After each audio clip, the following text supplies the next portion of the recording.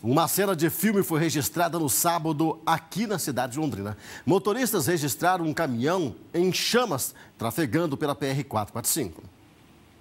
Em vídeos registrados pela população, o caminhão que trafega pela PR-445 sentido Londrina aparece tomado pelo fogo.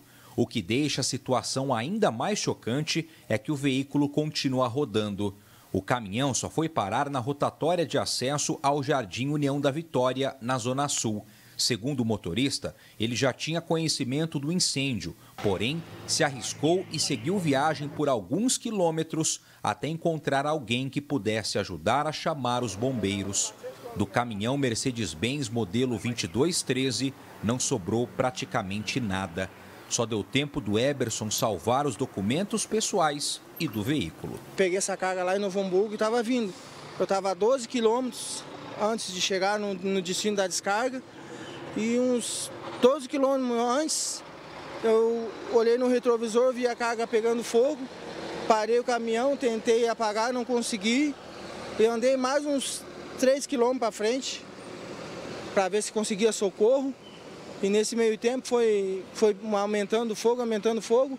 Graças a Deus consegui chegar nessa rotatória aqui onde eu tô. O pessoal me ajudou, chamou um bombeiro, tudo, e consegui apagar o fogo, mas o caminhão foi pegou fogo todo ele, queimou o gabine, queimou tudo. Dois maquinários faziam parte da carga, um utilizado na marcenaria e outro uma impressora de grande porte. O motorista acredita que o fogo tenha começado em um dos equipamentos. Começou na lona, quando eu avistei, começou uns dois metros para trás da, da, do malhau ali e começou em cima da carga. Eu não sei como que aconteceu, mas pegou fogo, foi na carga.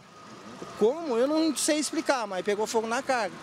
O motorista contou que anteriormente trabalhava com fretes e utilizava veículos menores na própria cidade natal, no interior do Rio Grande do Sul. Há cerca de três meses, resolveu mudar e comprar um caminhão maior para fazer longas viagens. A primeira, feita há apenas 15 dias.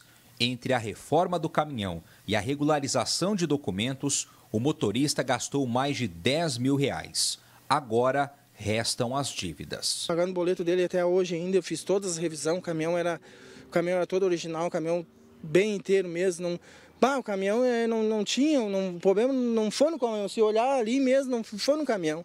Foi no, pegou fogo na carga, sabe? Eu mantinha ele sempre certinho, estava calçado de pneu, bom de freio, tudo certinho, tudo o caminhão sempre bem inteiro. Se quem olhar nas fotos vai ver o caminhão bem alinhado, sabe? E, e aconteceu isso, pegou fogo na carga, não sei explicar como pegou isso. Enquanto espera a burocracia envolvendo a carga que foi perdida, o Eberson conta que tem recebido ajuda da população. Todo mundo está se prontificando a ajudar. Não, olha, estou sendo bem recebido mesmo.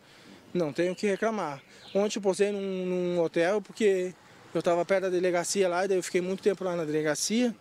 Daí ficou tarde, daí eu disse para vir para cá também, não, né, o pessoal não tinha se manifestado ainda para ajudar, né? Depois me ofereceram pouso, me ofereceram lugar e tudo.